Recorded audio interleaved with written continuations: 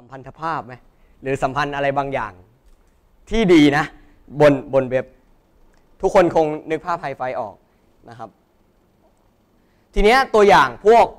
เนี่ยนะครับ ตรงนี้เป็นลักษณะของเว็บโซเชียลต่างๆ ไม่ว่าจะเป็น MySpace Facebook f e n s t e r แล้วก็รวมถึง h i f i เองนะครับ ซึ่งมีหลายหลายอย่างมากมาย แต่ว่าอ่าโดยโดยหลักนะครับ Facebook เนี่ย อ้าวเรามา Facebook ก่อนดีกว่า Facebook อะถูกพัฒนามา based on web application หมายความว่า Facebook อะแต่เริ่มเลยอะเขาสร้างมาเพื่อที่ต้องการให้นักพัฒนาหรือโปรแกรมเมอร์ต่างๆ ต้องการที่จะมาพัฒนาทำ plug-in ทำแอปพลิเคชันบนเขา แต่ไฮไฟหรืออื่นๆ เอาเป็นไฮไฟดีกว่าไฮไฟอะแต่เริ่มอะไม่ได้ถูกพัฒนามาเพื่อที่ทำแอปพลิเคชันนะครับ ไฮไฟถูกพัฒนามาเพื่อให้ดูรูปโปรไฟล์มีลักษณะเป็นดูโปรไฟล์เป็นลักษณะเก็บแกลเลอรี่หรือคอมเมนต์ต่างๆ ซึ่งไฮไฟกับ Facebook จะแตกต่างกันตรงนี้คือถูกพัฒนามาพื้นฐานจากข้างล่างคนละแบบ แต่ปัจจุบันนะครับ ปัจจุบันไฮไฟก็เริ่มที่จะนำแอปพลิเคชันมาใช้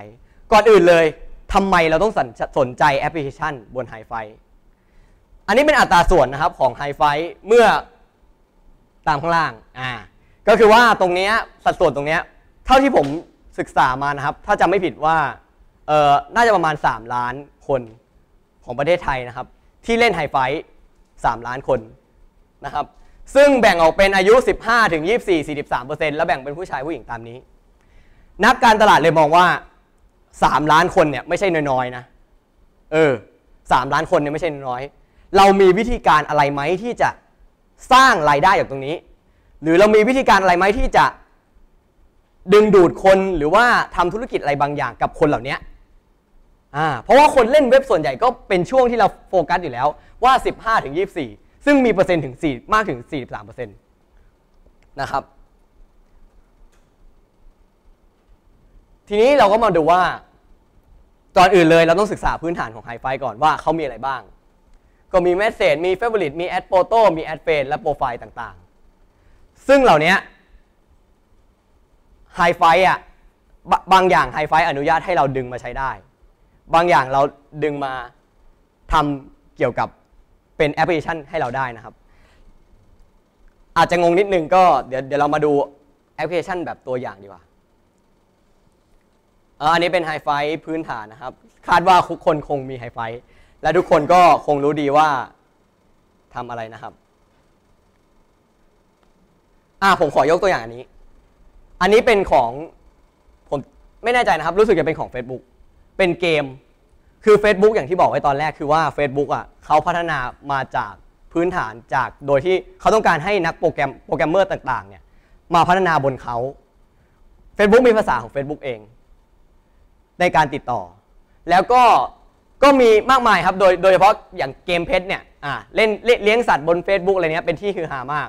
แล้วก็สร้างรายได้ให้กับเจ้าของที่เขามาพัฒนาตรงนี้เยอะนะครับ นั่นคือ Facebook แต่ h i f i ไม่ใช่ h i f i ถูกพัฒนามาจากอย่างอื่นนะครับ แต่ว่าเรามีวิธีแก้ไขกันทีหลัง อันนี้คือตัวอย่างแอปพลิเคชันต่างๆ ซึ่งมีค่อนข้างเยอะมีให้เราเลือกมากมายนะครับ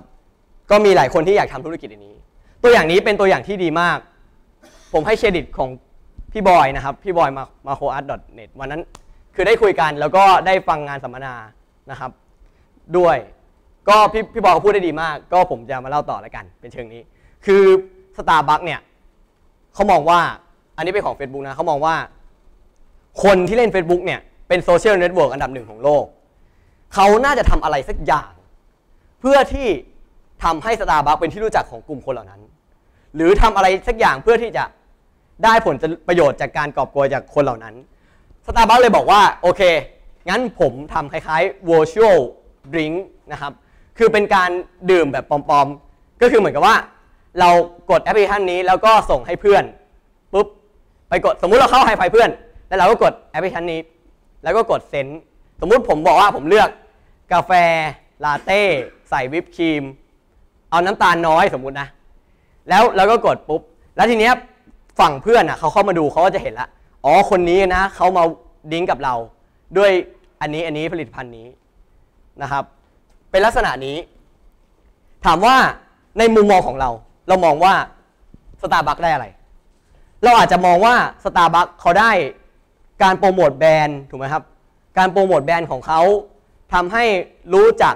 สินค้าของเขา รู้จัก รายละเอียดสินค้าต่างๆว่ามีแบบวิปครีมนะ มีแบบลาเต้ มีแบบคาปูชิโน่นะ มีอะไรอย่างนี้ นั่นคือมุมมองของคนทั่วไป แต่นักการตลาดของของสตาร์บัคมองว่ามองเหนือไปกว่านั้น เขามองว่าคือไอ้นั่นอะเป็นเพียงพื้นฐานที่เขาได้ แต่ตรงเนี้ยเขาเก็บข้อมูลเอาไว้ใน database เพราะฉะนั้นเขาจะรู้ว่าเขาจะสามารถ track ได้ว่าในช่วงเวลาเดือนเดือนนี้กาแฟชนิดไหน ที่คนกินเยอะ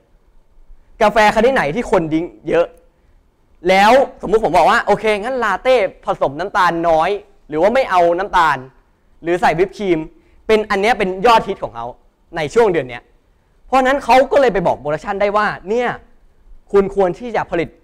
ผลิตภัณฑ์ชนิดประมาณนี้ออกมานะ เพราะว่าเทรนการครับทำไมหน้าร้านมันก็มีข้อมูลว่าใครซื้ออะไรไม่รู้อะไรนะครับ ครับ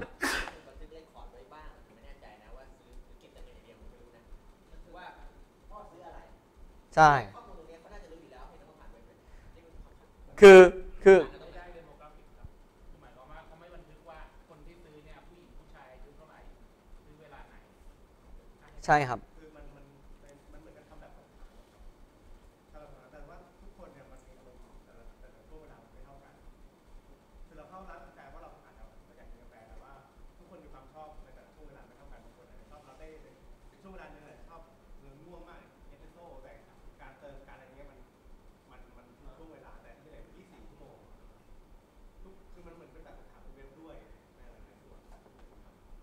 มาณนั้นนะครับ คือคงมองเป็นแบบสอบถามมากกว่าที่จะไปดูว่าจริงๆแล้วมันคนละเรื่องกันมากกว่ามีคนละเรื่องกันนะว่าจริงๆแล้วมันขายอะไร นั่นคือสถิติที่ร้านเขามีอยู่แล้ว ส่วนในเนี้ยมันคือเป็นลักษณะแบบสอบถามมากกว่า ซึ่งจะไม่ได้เชื่อมโยงกับไอ้สิ่งที่มันขายอยู่หน้าร้านโดยตรงคือส่วนนี้เป็นเป็นแบบสอบถามที่เขาจะไปคิดว่าเขาจะสร้างอะไรใหม่ขึ้นมาประประเป็นเป็นเซอร์เวย์ประมาณนั้นนะครับ แล้วก็โปรโมทแบรนด์ของเขาไปด้วย นี่คือสตาร์บัคที่เขามอง ลักษณะอารมณ์เนี้ยไนกี้ ปัจจุบันไนกี้ก็ลงมาทำเหมือนกันนะครับ คือบอกว่ารองเท้าสีไหนรองเท้าอะไรรองเท้ากีฬาชนิดไหน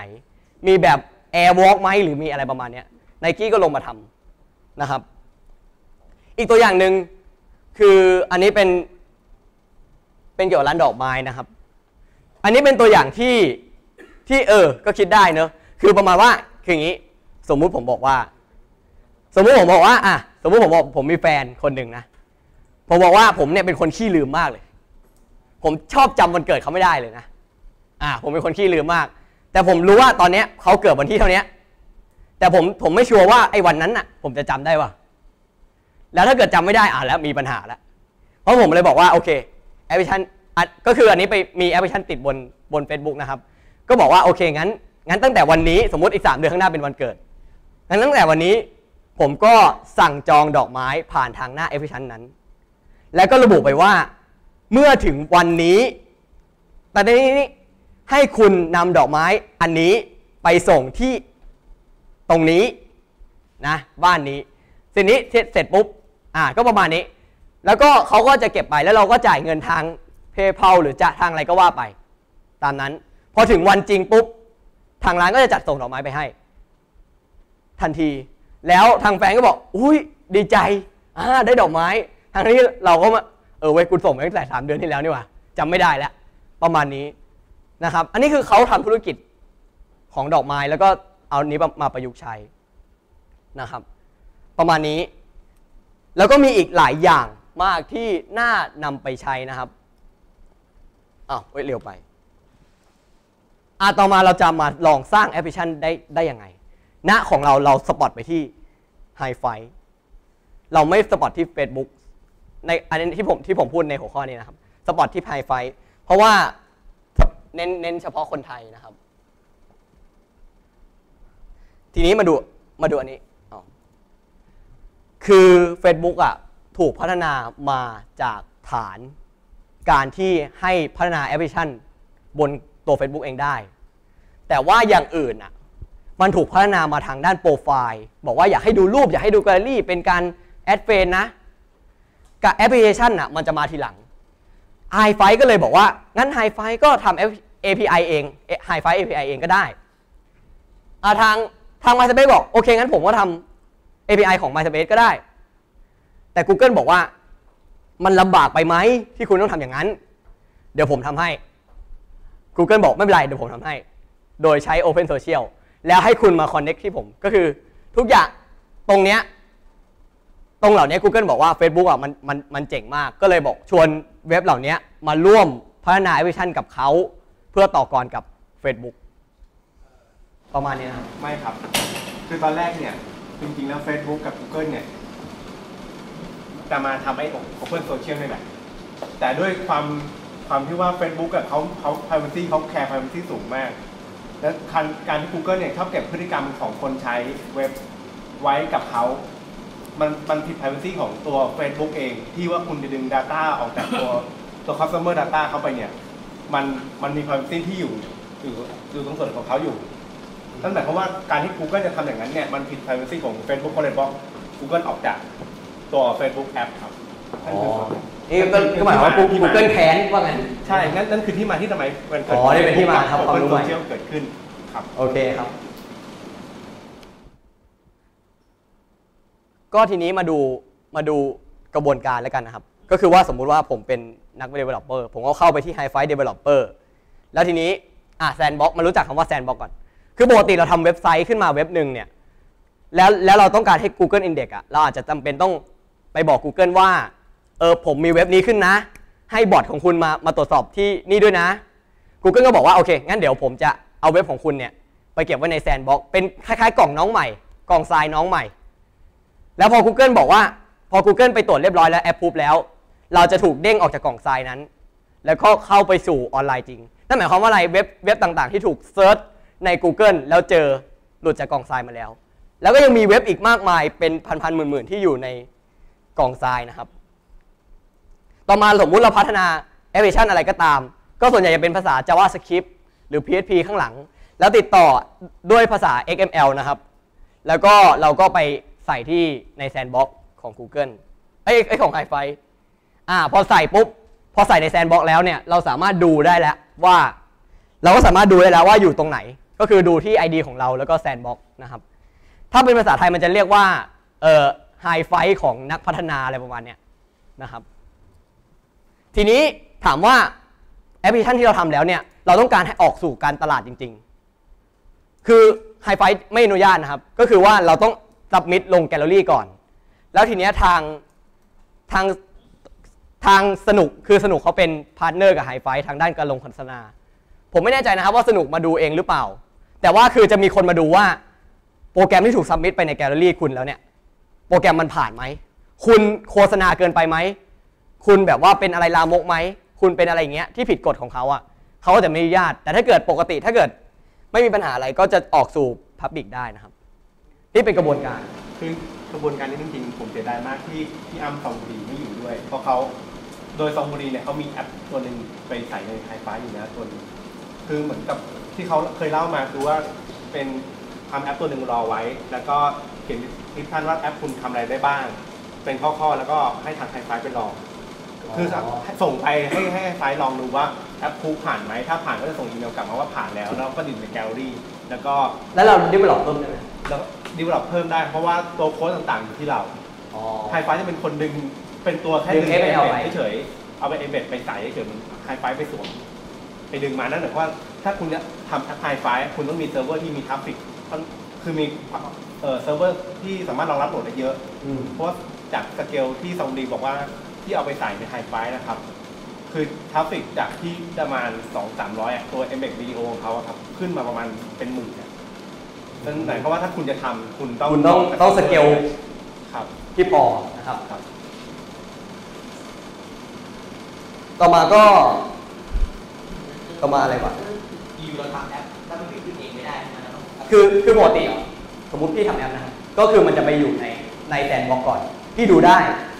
เป็นเป็น ID ของพี่แล้วก็ .sandbox .hi5 ต่อให้อยู่ในกรณีที่เรามีเว็บอื่นๆโปรโมทมันก็มีแอปมันก็ไม่เข้าไป ไม่ครับ คือมันเป็นแค่ account เราคนเดียว ใช่ คือดูได้คนเดียว พี่ดูได้แค่คนเดียว จริงๆเป็นแอปที่พี่ดูได้คนเดียว การแอปพูมันเป็นคอนเซ็ปต์ของทุกเว็บที่ทำแอปพลิเคชันสวมเข้าไปครับ ไม่ว่าจะเป็นเฟซบุ๊กหรืออะไรเพราะว่ามันเขาจะต้องมาตรวจสอบเรื่อง privacy เรื่องโค้ดว่ามันจะไปโหลดของเขาหรือเปล่า หรือว่ามีการไปดึงข้อมูลที่ไม่ถูกต้อง user ไม่ต้องการหรือเปล่าด้วยนั่นนั่นนั่นตอนที่มาแวร์ตามพวกโซเชียลเน็ตเวิร์กมันเกิดมันเกิดตอนไหนเขาทำแล้วดูไปยังไงฮะอันนั้นผมผมอ่านข่าวมันมีในเฟซบุ๊กมีเมา ปล่อยมาแวคือคือคือคืออันนั้นที่ที่ผมเคยเห็นนะครับคือเป็นอารมณ์อารมณ์ประมาณว่าเขาแอปปูคือเขาส่งแอปปูอันที่ใช้ได้ไปก่อน แล้วตอนหลังเขาเดเวลลอปคือพอมันใช้ได้แล้วมันก็ผ่านแล้วแล้วพอพอฝั่งฝั่งเขาเขาก็เปลี่ยนพี่เป็นนึกออกเปลี่ยนแล้วก็เอาเอามาแวร์ใส่เข้าไปประมาณนั้นก็อันนี้หน้าตาของ API .hi f i นะครับ ข้างในก็จะมีรายละเอียดต่างๆแล้วต่อไปก็ อันนี้พอดีเพื่อนผมทำสไลด์ แล้วก็ก็ไม่แน่ใจอาจจะอาจจะงงมันมีตอนที่พูดถึงสไลด์พูดถึงโซเชียลอันนี้มีแห่งไหนไปคือคืออย่างนี้ครับคือคือคือไฮไฟก็คือไอไอ้ API ของไฮไฟอะก็คือมันมันอินทิเกรต Open Social ไปแล้วคือหมายความว่ามันมันเปลี่ยนแปลงที่สำหรับรองรับ Open Social ไปแล้วอย่างเช่นว่า อย่างเช่นว่าคือ Open Social เป็นการบ่งบอกว่าให้ทุกคนน่ะ มาพัฒนาที่เขาแล้วเป็นลักษณะคล้ายๆ XML อย่างเงี้ยแต่การดึงข้อมูลน่ะเพื่อให้ง่ายคือ Google ก็คุยกับไฮไฟให้คุณเปลี่ยนแปลงอย่างนี้อย่างนี้ให้ตรงมาตรฐานของเขานะ และ API โดยไฮไฟก็เป็นหน้าที่บ่งบอกว่าตรงมาตรฐานของเราแปลว่าถ้าจะจะดึงข้อมูลมันก็ไม่เกี่ยวอะไรกับโซเชียลก็ไปถึงที่ API กับไลน์ใช่ไหมคือคือเราเราต้องอ่าเนี่ยพี่เดี๋ยวเดี๋ยวลองลองดูนี่คือเราสตาร์ทตรงนี้ก่อนนะครับ น่าจะมีสไลด์อยู่เอาไม่มี คือคือหน้าเมื่อกี้นะครับก็คือว่าเดี๋ยวคือปกติอ้าวไม่เป็นไร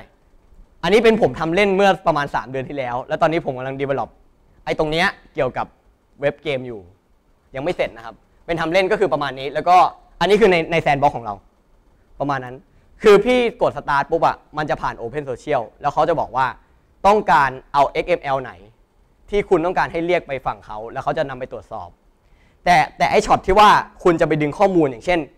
ผมบอกว่าผมอยากดึงแกลเลอรี่มาเลย แกลเลอรี่ของคนนี้ทั้งดุนมาเลย อันนั้นอะต้องใช้ API ของ Hi5 ซึ่งตรงตามมาตรฐานที่คุยกับ Google เรียบร้อยแล้ว ประมาณนั้นนะครับ เป็นลักษณะนี้ อันนี้เป็นเป็นที่ทำเล่น คือทั้งหมดเนี่ยที่ผมศึกษา คือไม่ได้รู้เลยนะ แล้วก็ศึกษา Google แล้วก็แล้วก็เริ่มสตาร์ทสตาร์ทและลองพัฒนาตรงเนี้ย คือไอเนี่ยไอแค่เนี้ยพอโหวตปุ๊บก็ขึ้นสกอร์เนี่ย คือมัน ผมใช้เวลารวมประมาณชั่วโมงครึ่งทั้งศึกษาทั้งหมด คือผมบอกว่ามันไม่ยากมาก มันไม่ยากเลยนะ มันง่ายสุดๆ คือมันถูกทำมาเพื่อง่ายอยู่แล้วอะเพราะนั้นก็คือเขาก็เลยให้ง่ายมากทำได้ง่าย คือไม่ต้องเรียนรู้อะไรนะครับ ใครที่พอเขียน PHP เป็นก็เขียน JavaScript เป็นก็ใช้ได้นะครับอะแล้วก็มีคำถามไหมครับ หรือมีใครอยากเสริม คือเรื่องจริงๆแล้วผม